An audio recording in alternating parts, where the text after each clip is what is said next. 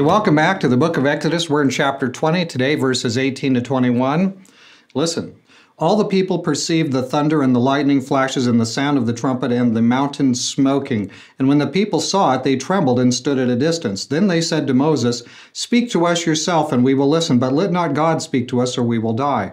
Moses said to the people, Do not be afraid, for God has come in order to test you, in order that the fear of him may remain with you, so that you may not sin.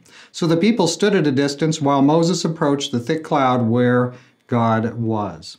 Okay, so let's think about this a little bit together. We just had the Ten Commandments.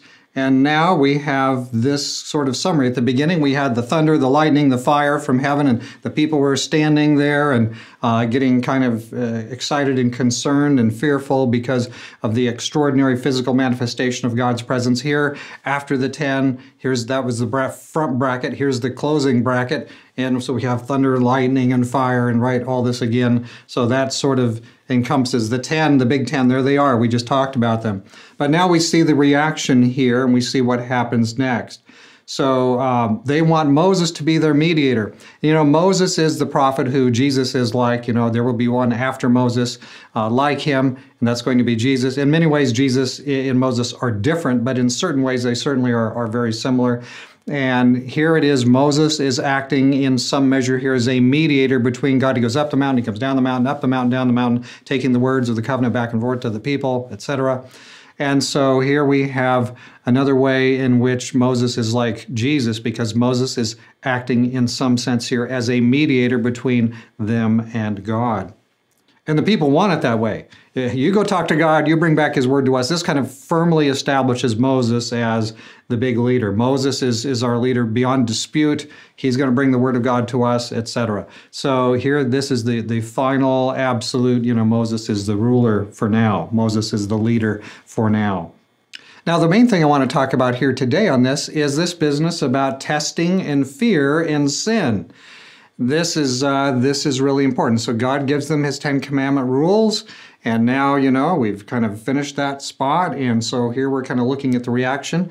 And Moses tells them part of the reason. Part of the reason God gives us those those rules is what God is testing us. God is putting us to the test, and there's a validity to that. Of course, you test something before you before you put your weight on something. You kind of test it out. You make sure it can hold your weight.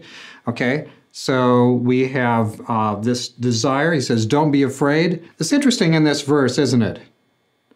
Do not be afraid, for God has come in order to test you, in order that the fear of Him may be may remain with you so that you may not sin. So don't be afraid. And yet, here it goes on to say, the fear of God should be upon you. There's a respect and an awe that we should have when we're ad- dealing with God, when we're addressing God. There's, it's, this is helpful. This is why he came down with fire and thunder and lightning and, and earthquakes and so on, right? He's, he's trying to get our attention, let us know uh, you are uh, we are very small. He is very big. He is the infinite God. He's the creator. We're the creature. Uh, there is something about that we should not lose sight of, right? So uh, remember, He is the lawgiver and we are the law receiver.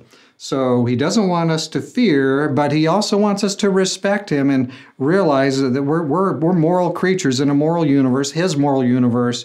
And so when he tells us what how the moral lay of the land is, our response is yes, sir. Our response is yes, I'm going to live that way. I'm going to echo your morality. I'm I'm linked to you in this way. And notice that he says he's telling us, he's giving us his commandments so that we will not sin. So we have to think that anything that's contrary to the Ten Commandments we've just looked at is, is, is in some measure, in some way, is sin. So not remembering the Sabbath, the fourth commandment, not remembering that and keeping it holy. That's a sin. Uh, so, not honoring the fifth commandment, not honoring our father and mother. Well, that doesn't sound like it's a sin issue, but yes, it is. Yes, it is. If we don't honor, if you don't honor your father and mother, you are engaged in sin. You are acting in contradiction to God's character. You're acting in contradiction to what He has laid down as universal moral imperatives here that we should do, okay, and things that we should not do. So, God doesn't give us the law to destroy us. He doesn't give us the law so that we'll tremble and fear, but He wants us to know what He's like and He wants us to know what He wants us to be like. He wants us to know what it's like to be a, the blessing that He wants us to be to the world. So, consequently, He doesn't want us to sin and have all the uh, things that come with sinning. And so, here we have the great blessing of His law laid out for us. And He has tested the people so that they will not sin. So there you have an interesting sort of. Uh, we had the preamble of the Ten Commandments, and now we have sort of the post the post ramble, uh, the post angle here. And now we're kind of getting. We finished it, and we still see uh, there's good purposes, there's positive purposes in God giving us this. So, a lot of that you've heard about, oh, be careful about the law. We're not saved by keeping the law. No, we're not. But guess what? The law is a good thing.